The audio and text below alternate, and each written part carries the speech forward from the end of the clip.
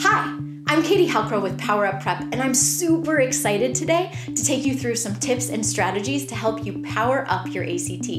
If this is your first time with us, first, welcome. Second, check out the link below. There, you're going to find the ACT questions and the note sheets that you can do along with these videos. All right, so let's get those materials together, and we're going to be ready to power up.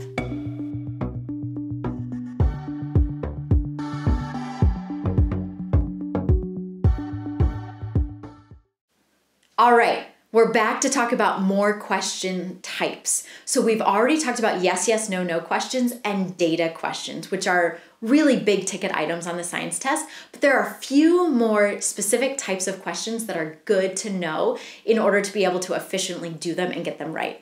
The first of these is comparison questions.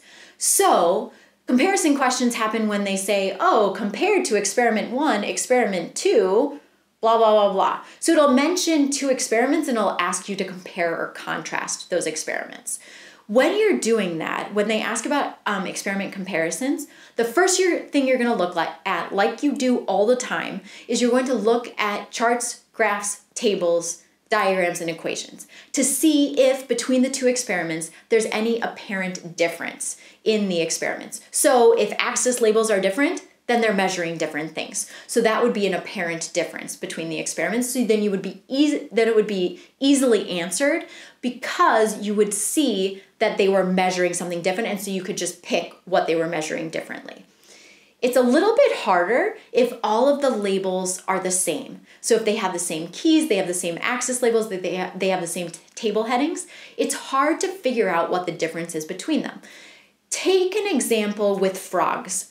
Let's say that they were trying to figure out um, how two experiments about frogs were different. And they had the exact same tables and charts. So there was a table that measured how high they jumped, and then there was a chart that measured how much they ate.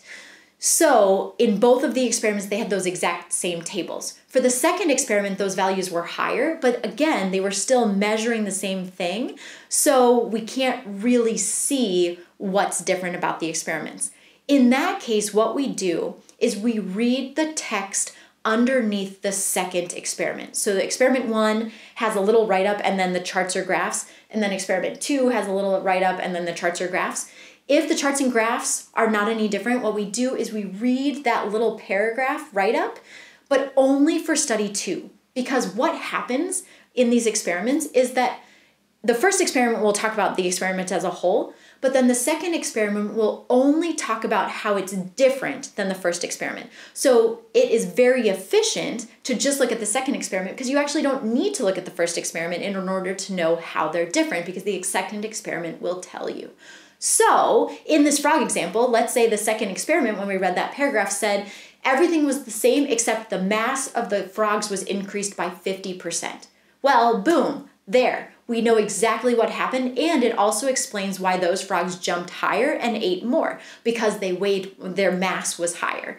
So, um, when you're doing a comparison question, first, as always, look at those charts and graphs and tables if there's no apparent difference between them, if they seem like they're measuring the exact same thing, then what you're going to do is you're going to look at the the experiment that comes next. So if you're if you're comparing experiment 2 to experiment 3, you're going to read experiment 3. If you're comparing experiment 1 to experiment 2, you're going to read experiment 2. You're just going to read that little paragraph to see what is different between them because that will tell you.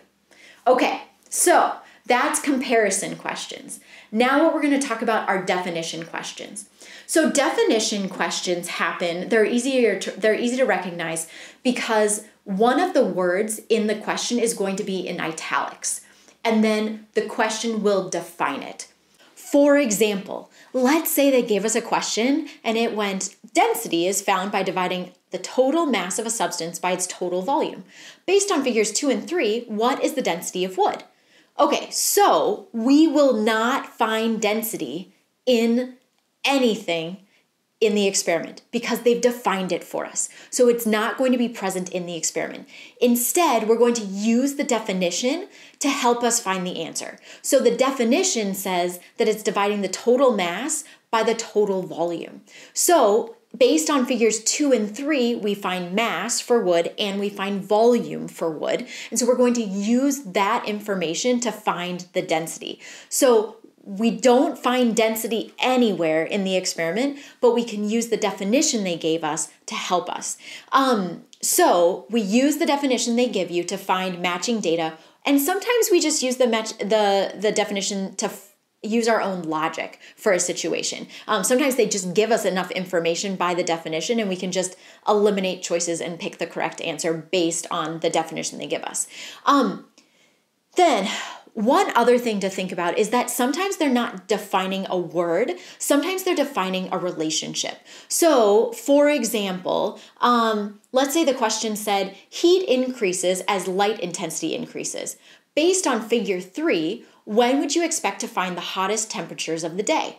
Okay, so then we are not getting a definition in the truest sense of the word because they're not like defining light intensity or heat, but when we look at figure three, we see that figure three has time of day and light intensity. And so if we're trying to find the hottest temperatures, we know that light intensity um, is directly related to heat. So as light intensity increases, heat increases. So the hottest part of the day would be when light intensity is the highest. So that is defining a relationship for us, and we can use that relationship to help us answer the question. So Sometimes when we're doing definition questions, we're using the definition to find matching data and then or using our own logic to answer the question. And then other times it involves figuring out a relationship or applying a defined relationship to a trend, like we did in the second example, in order to get the question right.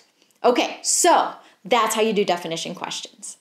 So, then the last type of question that we're going to talk about are mixture questions. So, in these questions, they're going to ask you to find a resulting value from mixing two different substances together. So, they might tell you, like, oh, we have a gasoline that has an octane level of 80, and we have a gasoline uh, that has an octane level of 110. If we mix the two, what would be the likely outcome of octane level? And so, when you're doing that, what you're doing is you're going to find the individual the value for each individual component um, so value of gasoline A, value of gasoline B, so 80 and 110. And then in the answer choices, you're going to choose an answer choice that's within that range. So you're going to choose an answer choice that might be like 90 or 95 or might be the answer choice might say between 80 and 110. So if you're doing a mixture question, what you're doing is you're finding an independent value for each thing that you're mixing, which might require going to charts or graphs.